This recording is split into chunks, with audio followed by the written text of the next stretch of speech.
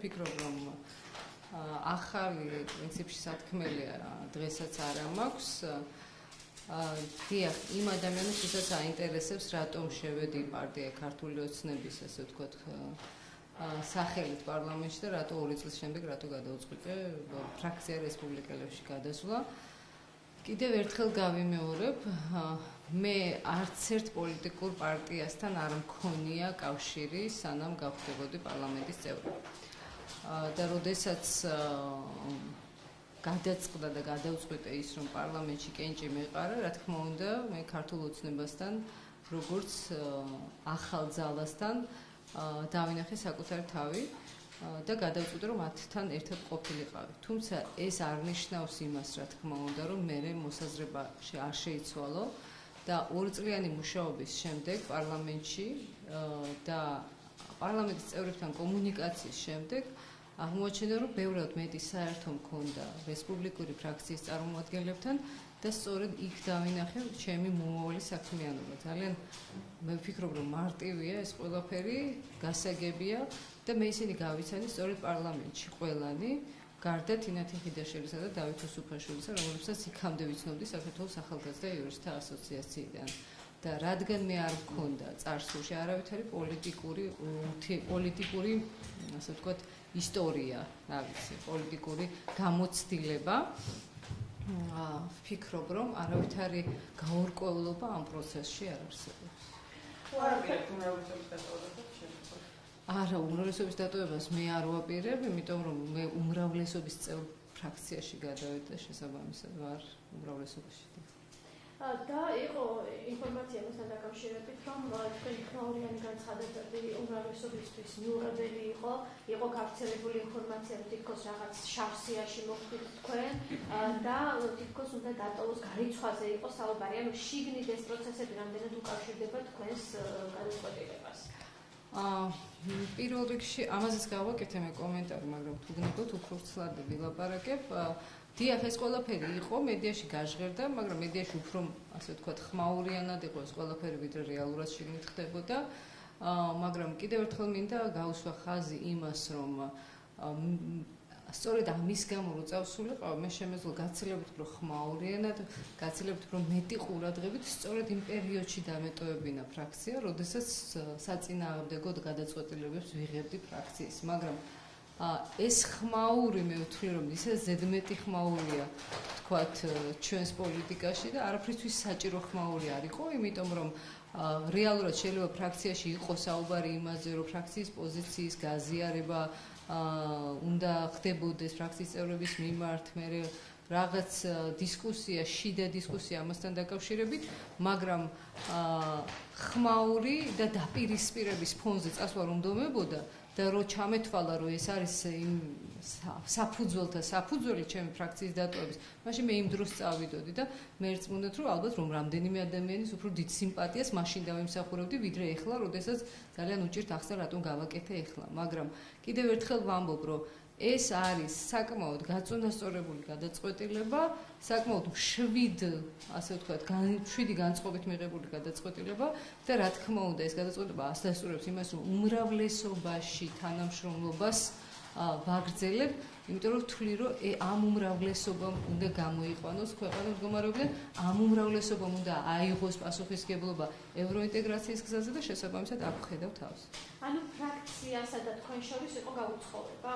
იყო ესეთი? იყო საკითხები, სადაც ჩვენ არ გქონდა ერთნაირი პოზიცია. ახლა მანანა კოპახეთის შეფასება ალბათ მოისმინეთ, რომ არჩევნებში ერთი სახელით გამარჯვება, შემდეგ მეორეში გადახვალ, ეს ცოტა არ იყოს უფერკულია. მე მგონი მე პირველ შეკითხვაზე რომ საუბრობდი, მაშინ გავეცე ამაზე პასუხი და ალბათ მანანა შეფასება მის შეფასებაა და მე პასუხ პატევს მის მოსაზრებებს. სხვა ამაზე ვერაფერს ვიტყვი. თეატრალიან მაქვა რომ უნდა მოხდეს 9 წლიანი მმართველობის ნაციონალური მოძრაობის დროს გამოტანილი განაჩენების გადახედვა. და ეს ვერ მოხერხდა გულაშვილის დროს და ეხლა შესაძლებელია ნინო განეტაკის დროს და ნინო განეტაკისებაც დააწყოს. 2012 წლის 1 ოქტომბრის შემდეგ ამაზე საუბარი მუდმივად მიმდინარეობს. ანუ ხან მარცაჯულების ხარვეზების დამდგენი კომისიის შექმნის ხალხით და ხან ასე და ხან სხვადასხვა ფორმით. მაგრამ ეს დაპირება ქართული ოცნების და კოალიციის სამართლიანობის აღდგენას, რომელიც სწორედ უკავშირდება უკანონო პატიმრობებს, ქონების უკანონო ჩამორთმევას და ასე შემდეგ, კიდევ არის ჩვენი ერთ-ერთი პასუხისგებლობა და სამომავლო საქმიანობის, ასე ვთქვათ, ერთ-ერთი საკითხი. მაგრამ ფორმები, რა ფორმით მოხდება ეს, არის საკმაოდ რთულად შესაძლებელი. ამ ეტაპზეც ბოლომდე არ არის გადაწყვეტილება მიღებული, როგორ მოხდება ეს. მაგრამ მე ვფიქრობ, რომ ამაზე მუშაობა უნდა გავაგრძელოთ. თავარი და პრინციპული აქ არის ის, რომ კანონიერ ძალაში შესული სასამართლო გადაწყვეტილების გადასინჯვის ასევე სამართლიანი კონსტიტუციური გზა უნდა იქნას გამონახული. და რეფორმები შინაგან საქმეთა სამინისტროსა და პროკურატურაში, რომელიც უკვე თითქმის დაწყებულია კონცეფცია არსებობს. თქვენ ძირითადად რა არის და თქვენ შეფასება დიახ, ალბათ ერთ-ერთი მნიშვნელოვანი საკითხი, ის გამოც მე ასევე უმრავლესობაში ხედავ თავს, ეს არის რეფორმა პოლიციის და პროკურატურის. პროკურატურის რეფორმის კონცეფცია მზადდება, ალბათ მალე გახდება საჯარო განხილვის თემა. რატომ არის პროკურატურის რეფორმა განსაკუთრებით მნიშვნელოვანი? იმიტომ რომ დღეს პროკურატურა პრაქტიკულად გამოსულა ყველანაირი კონტროლისგან. პროკურატურა ჩვენ ხედავთ, რომ არ არის გამჭვირვალე დაწესებულება, მას არ აქვს ანგარიშვალდებულება თავად პროკურორს არავის წინაშე. და საქართველოს პარლამენტი იმდენად უსუსურია პროკურატურის წინაშე, რომ კონკრეტულ საქმეზე ინფორმაციის მოთხოვნის უფლება არ აქვს და მთავარი პროკურორის დაბარება შეიძლება ზოგადად ინფორმაციის მოწოდების მიზნით ისიც სესიას პარლამენტის მიერ და არა თქო კომიტეტის და ასე შემდეგ პარლამენტმა უნდა დაიბალოს. ა ეს ეს ცვლილებები კანონმდებლობაში ის რომ პროკურატურა უფრო დამოუკიდებელი გახდა იუსტიციის მინისტრისგან ვიდრე ეს იყო წინა ხელისუფლების პერიოდში, რა თქმა უნდა ჩვენმა პარლამენტმა განახორციელა. დღეს შესაძლოა ამაზე გვაკრიტიკებდნენ, მაგრამ ეს ცვლილებები არ იყო საბოლოო ცვლილებები. მას უნდა მოყოლო და სხვა ტიპის ცვლილებები, სადაც პროკურორის დამოკიდებულება და დაქვემდებარება იუსტიციის ministris მიმართ კი შემცირდებოდა, მაგრამ ეს არ ნიშნავდა იმას, რომ ის აუცილებლად იქნებოდა სრულად დამოუკიდებელი. პირით თამას უნდა მოყოლო და ის რომ სხვა უწყების წინაშე ყოფილიყო, ასე ვთქვათ, ანგარიშვალდებული და მისი გამჭვირვალეობა არ უნდა შეზღუდულიყო, მაგრამ სამწუხაროდ ჩვენ ცოტათი დავაგვიანეთ, მაგრამ ეხლა ეს პროცესი დაწყებულია. და მე ვფიქრობ, რომ ჩვენ გვექნება მოდელი, სადაც პროკურორის ანგარიშვალდებულება და გამჭვირვალობის, ანგარიშვალდებულებისა და გამჭვირვალობის ხარისხი საგრძნობლად გაიზრდება და ის არ იქნება ასეთი დახურული ტიპის დაწესებულება, როგორც დღეს არის. ანუ პარლამენტის ზედამხედველობა პროკურატურაზე იზრდება, როგორ არის? წესით უნდა გაი, ანუ იმ ვერსიებში, რაც მუშავდება, პარლამენტი არის მნიშვნელოვანი, ასე ვთქვათ, სუბიექტი პროკურატურასთან ურთიერთობის პროცესში. შინაგან საქმეთა სამინისტროს დიახ ეს არის ერთ-ერთი თემა რომელიც ასევე ფარუმოსმენებსაც უკავშირდება და ასე შემდეგ. აქაც ძალზე მნიშვნელოვანია რომ უშიშროების სამსახურები და დაზვერვის სამსახურები საპოლიციო სამსახურებს გამოეყოს. და ამ მიმართულებითაც უკვე გარკვეული ნაბიჯებია გადადგმული და მე დარწმუნებული ვარ რომ ამ საშემოდგომო სესიაზე საქართველოს პარლამენტი მოახდენს ამ ორი უწყების რეფორმას.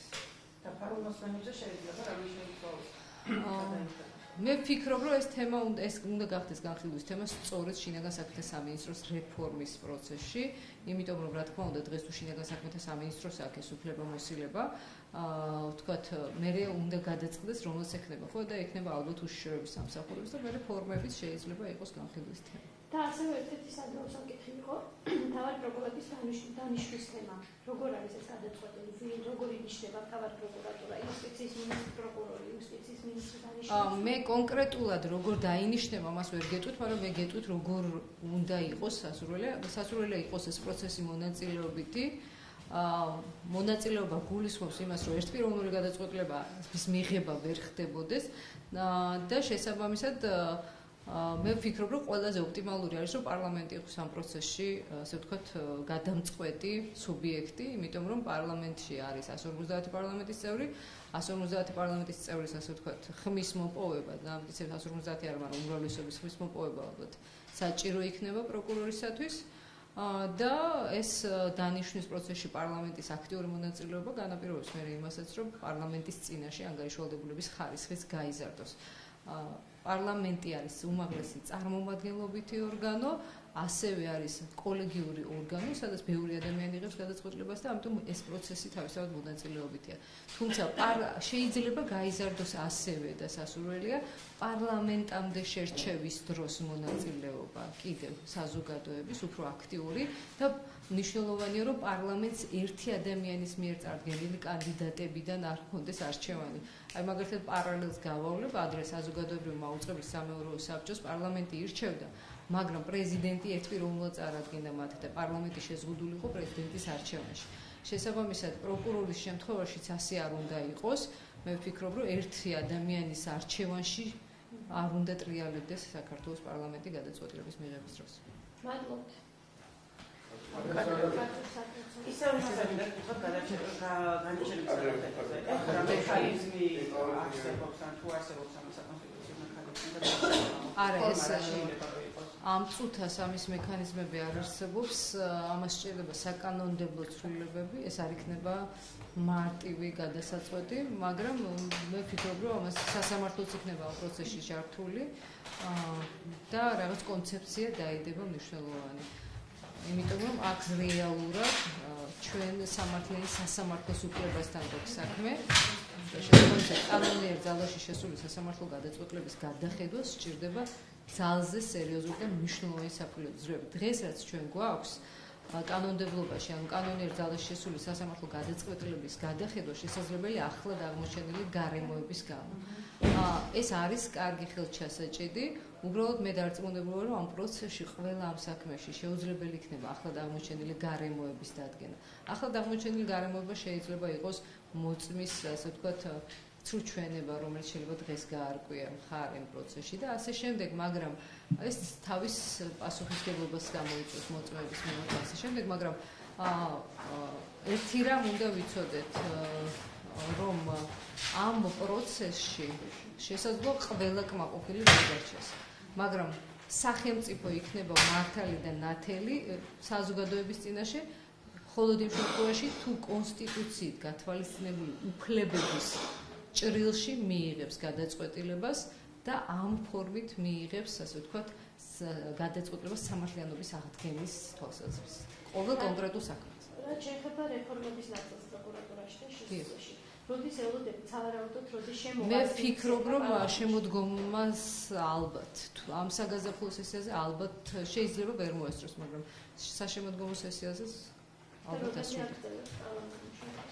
პარლამენტს აქვს ივნისის ბოლომდე სამუშაო პერიოდი, მაგრამ ჩვენ შაშანას ასე ქონდა და ივლისშიც მუშაობდით და თუ საჭირო იქნა რანდილად ივლისშიც მოიწევენ ალბათ სიტყვას. და ამ კვირაში არის რიგარეში, იქიდან გამომდინარე. არა, ამ კვირაში რიგარეში არ არის, ყოველ შემთხვევაში არ მოგვსულა ინფორმაცია და იქით აკვირას შულებრივი სესია გვაქვს. და რა სანქციები თუ არის მიღებული სტომის ჩავარდასთან დაკავშირებით, რომ სანქციებს ესე იოლად ვერ დაუწესებ ასე პარლამენტის წევრებს, მაგრამ რეგლამენტით არის არასაპატიო მიზეზის შემთხვევაში ხელფასიდან დაქვითვა Até a próxima.